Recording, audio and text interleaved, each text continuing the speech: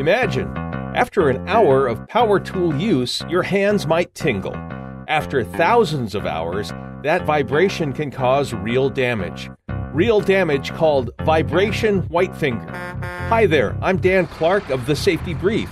This is where we talk about health and safety hazards in today's demanding industrial and construction work sites. Using vibrating tools over extended periods can cause pain, tingling, burning, and white fingers. Vibration white finger is also known as white finger disease, hand arm vibration syndrome, or work related Raynaud's syndrome. The white fingers come from restricted blood flow. With vibration, blood vessels collapse. Add cold weather to this equation, and these hand arm vibration symptoms become even worse. Plus, vibration damages nerves and muscles in the hands. Vibration white finger can be caused by likely culprits such as chainsaws, sanders, polishers, grinders, impact drills, and scaling hammers.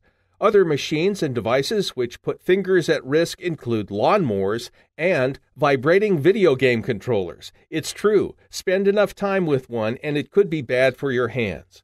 How can workplaces reduce the vibration risks? Follow safe trigger time guidelines. Trigger time is the safe amount of time a worker can use a given tool. This depends on how much the tool vibrates. The more the tool vibrates, the shorter amount of time it should be used. Here are some methods for reducing vibration exposure. 1. Grip the tool as lightly as possible, but not so light that it could be dropped. 2. Keep hands warm. The cold makes symptoms worse. 3. Maintain tools. Old tools that are off balance or out of calibration will vibrate more.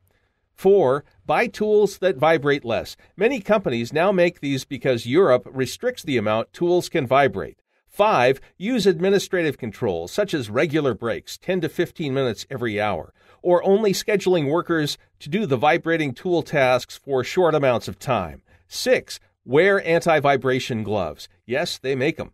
Vibration white finger is often underreported, and by the time employees go for medical attention, treatment may not be effective. Let workers know about vibration white finger, the symptoms, and prevention methods ahead of time.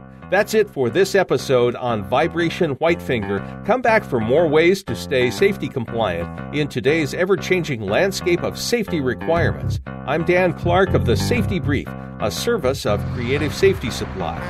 CreativeSafetySupply.com.